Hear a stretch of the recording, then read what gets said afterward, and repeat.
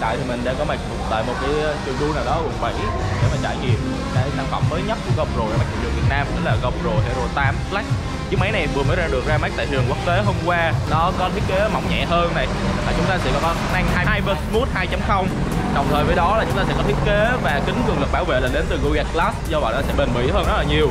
à, tính năng time warp mới cũng sẽ được nâng cấp để chúng ta sử dụng được dễ dàng hơn và các bạn chỉ cần chạm vào màn hình để mà giảm tốc độ thì cái video của chúng ta sẽ vô cùng chất lượng và sẽ sử dụng được rất là nhiều trong thực tế. À, về chất lượng của cái GoPro Hero 8 này thì chúng ta sẽ vẫn có các độ phân giải như thường lệ là bao gồm 4K 60 là tối đa này chúng ta sẽ có slow motion à, 240 fps với là à, độ phân giải Full HD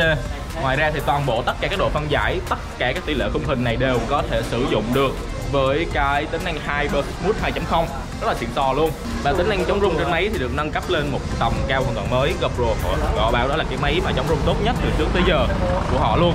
À, và mình đang quay video này ở độ phân giải là 2K 2.7K và cái tốc độ khung hình là 60 fps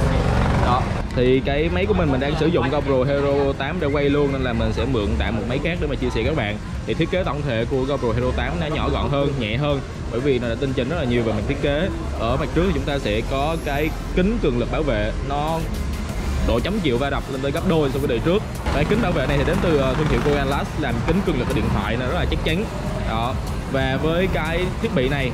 in khay luôn các bạn sẽ không cần phải điêu ngàm ở phía dưới thì các bạn chúng ta sẽ có ngàm ngay trên cái thiết bị của mình luôn. Các bạn chỉ cần bật nó xuống và gắn với cái các cái thiết bị hỗ trợ phụ trợ của GoPro từ trước tới giờ. Rất là nhiều có thể sử dụng trực tiếp luôn. Không cần thông qua ngàm nữa vì ngàm nó nằm ngay trên máy rồi. Ngoài ra thì chúng ta sẽ có một cái kết mới. Cái kết đó thì giúp chúng ta gắn được rất là nhiều thiết bị phụ trợ luôn trên cái GoPro Hero 8 của mình. À, chúng ta sẽ gắn được đèn led này gắn được mic thu âm shotgun này gắn được thêm một cái màn hình phụ khi đó thì chúng ta sẽ sở, sở hữu nguyên mỗi combo đều để vlog mà vô cùng nhỏ gọn chỉ nằm trong lòng bàn tay của mình như thế này thôi. Cái GoPro Hero 8 của mình thì cũng sẽ sử dụng công nghệ pin mới và cái key lúc nãy thì nó sẽ không có tương tác ngược với các thế hệ cũ. Cái pin mới này có thể sử dụng được với các thế hệ cũ nhưng mà pin cũ thì không thể sử dụng được với cái GoPro Hero 8 của mình